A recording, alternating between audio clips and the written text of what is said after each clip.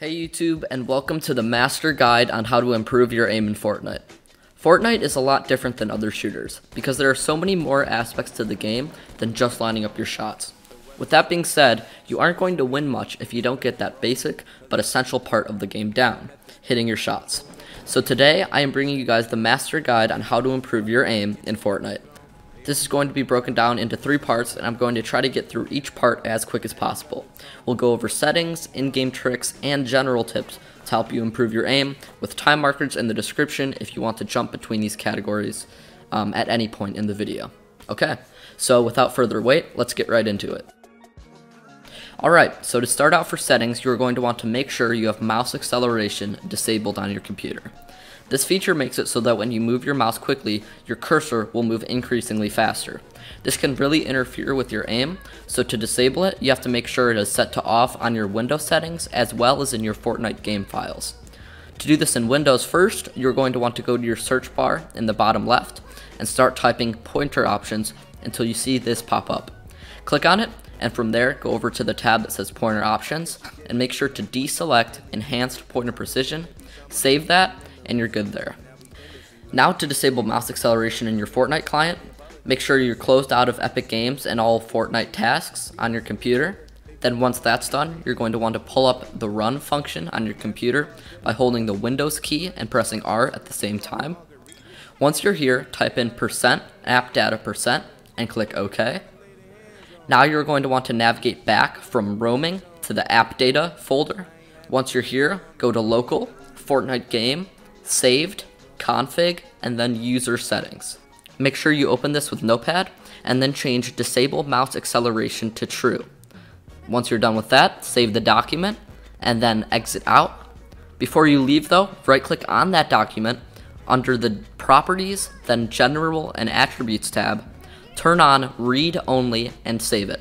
This makes sure the Fortnite client does not automatically change this new mouse acceleration preference you've just set later on. Okay, now that we're done dealing with mouse acceleration, let's go over some in-game settings in Fortnite. Once you've opened Fortnite, the only two tabs you'll have to deal with in-game to help improve your aim is the video and the game tab. The first two once you open your in-game settings. The video tab is important because these settings will affect how smoothly your game runs, and playing with a choppy frame rate will undoubtedly make it harder to aim. The game settings tab is home to your sensitivity and HUD size, which can also be optimized to better your aim. Starting with the video tab, it is crucial that you are playing in full screen. Full screen almost always will improve your frame rate, and actually on many PCs, playing on windowed full screen or windowed instead of full screen will create an input delay where mouse movements in-game will occur noticeably longer after they are performed in real time, which is obviously not desirable. You're also going to want to make sure your game can run comfortably under at least 60 frames per second. In general, as long as it doesn't bother you, I would recommend playing on the lowest quality settings, because while these settings do make the game look nice, they can be very distracting, and some of the lighting effects can actually hide enemy players depending on the skin they are using. So once again, if you can, turn these settings to low. If your game is still struggling to run smoothly at 60 FPS on low settings, you can turn down your display resolution, but I would warn you from going much below 720p or any other HD resolution because at that point some of the pixels can start to blend in around one another and it can be hard to distinctly see other players. I'll try not to stray too off topic, but another way you can prove how the game runs just by changing settings is transitioning over to a stretched resolution, which is basically anything other than the conventional 16 by 9 aspect ratio that most monitors run on. I won't show you how to do this because there are many in-depth guides and a whole range of resolutions out there to try. But I can say that a stretched resolution will make your character smaller and more zoomed out, which is good because it will increase your field of view and allow you to see more. Playing on stretched will also increase the size of enemy players, usually improve your FPS as well, and it will decrease the size of your HUD, allowing you to see more.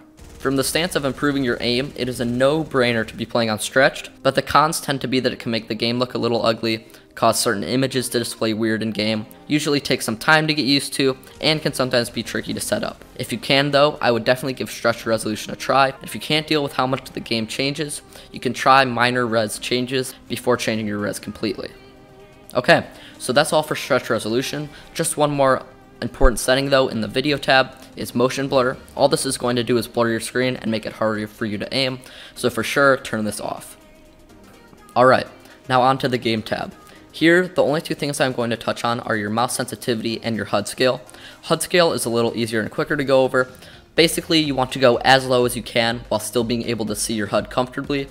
Turning it down will just allow you to see more around you and help you track people, so if you can turn it down, that's definitely a plus. On the other hand, sensitivity does come down to personal preference and will vary for different setups, but I'm going to list out certain guidelines that you should probably be following when trying to find a good sensitivity. First off, whatever you decide on, you need to stay consistent. I fell into the trap of constantly toggling my sensitivity up and down, trying to figure out what I liked, but what you really need to do is pick a sensitivity and stick with it until you notice a specific problem or something that your current sensitivity is inhibiting. As a general rule, make sure that if you move your mouse from the left end of your mouse pad to the farthest to the right, you are doing around or more than a 360 degree turn in Fortnite. In other words, going from the middle of your mousepad to either the left or right edge will turn your character around completely, 180 degrees. This way you don't have to pick up your mouse to aim when you're shot at and you can cover all angles around you. Sensitivity is very subjective depending on what mousepad and DPI you are running, but I would say for your mousepad, bigger is better. For your mouse, you're going to want to invest in a name brand such as Razer Logitech, and I wouldn't use more than 1500 DPI on your mouse and 0.15 vertical and horizontal sensitivity in Fortnite. I've always found it's better to stay equal with vertical and horizontal sensitivity, but some people prefer otherwise, so I'll leave that up to you. Okay, that should wrap things up for the settings portion of the video, and now we'll go on to in-game tips to help improve your aim. When we're talking about improving your aim in Fortnite, we're only really talking about a few guns, because a lot of the meta right now just comes down to spraying, so in this video, I'm going to keep it to your AR and shotgun. If you have the jump on the enemy, always crouch while you shoot, because crouching will actually decrease your bullet spread and reduce the time for first shot accuracy to reset. When you're aiming at someone, always try to go for upper body shots, that way you have a better chance of getting a headshot. If you're lining up a shot with an AR and the enemy can't see you, you should wait until you can guaranteed hit their head using that first shot accuracy before you start firing. With shotguns, I think it is more important to take time to line up your shots, especially with a pump or heavy shotgun, rather than shooting immediately when you spot the other player. A lot of the time, this means not jumping or even crouching in close quarters if that's what you need to do to hit your shots. You have to remember that if you're jumping around in a build fight, yes, it may be harder to hit you, but that will also affect your own aim. So prioritize taking time and hitting your shots, even if that means you have to slow things down and maybe pause in the middle of fights. It is generally okay to jump a lot when spraying people with, for example, a drum gun or SMG when in extremely close quarters, but otherwise, don't do it. I could go on and on forever covering different guns and tips to use each one better, but the best thing to do to get meaningful practice in game is to drop game after game into high density, highly populated areas and fight as much as possible. This strategy has been preached by Ninja over and over again, as well as Shroud back when PUBG was first taking off. What I personally am not a big fan of is using external aim trainers on your browser or in other games to help try to improve your aim in Fortnite. These aim trainers aren't going to match your Fortnite sensitivity and don't offer the same circumstances of aiming whilst under pressure, at different heights, with different guns, and so on and so on. One way you can improve your aim in Fortnite if you get tired of dropping in popular locations and dying is by playing Save the World if you have it, and using that to practice with the same guns that are in the Battle Royale game mode. That is all I have to say for in-game strategies, so lastly let's move on to general tips outside of Fortnite that you should practice. Firstly, whatever setup you have, you should stay consistent with it. Try not to change desks, mouse pads, mouses, or any other things if you don't have to. To improve your aim, you are going to want to decrease all of the other outside factors that could negatively be affecting your progress. Secondly, make sure your arm is not hanging below your desk and your mousepad. If your elbow is hanging below your wrist, it is going to be very hard to move your mouse with control and over a long distance, so make sure your elbow is supported and above your mousepad. This way you can use your arm to assist your wrist while aiming. If you still need convincing of this, take a look at any other Fortnite YouTubers' face cams, especially professionals, and look at their setups. You'll consistently notice that their arms are always raised up above their mouse. There's also something to be said for keeping your hands warm while you play. Trying to aim while cold can make your movements very jittery and is overall not ideal.